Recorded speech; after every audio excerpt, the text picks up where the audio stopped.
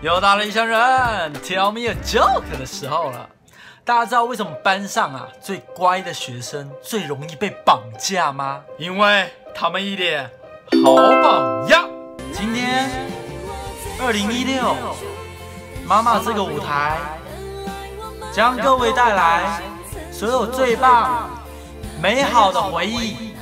在这舞台上，会给你们带来各位满满的大平台。